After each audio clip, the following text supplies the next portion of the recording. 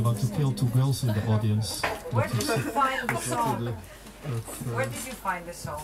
uh, it's, uh, uh, I think on YouTube it's quite of, uh, nee, I looked for the songs of all songs of Jerzy Petersburski. Oh, okay. That's how I found it. How old are they? 100 years? How old are they? 60 years, I think. 60. Okay. It's pre-war, but not far pre-war. Okay. No, they, I think they are before the war they were written. It's, it's between 30 and 35. I wouldn't know the exact year, but uh, roughly that time. Yeah, but uh, it's, uh, no need to remember this we already had. It's somehow uh,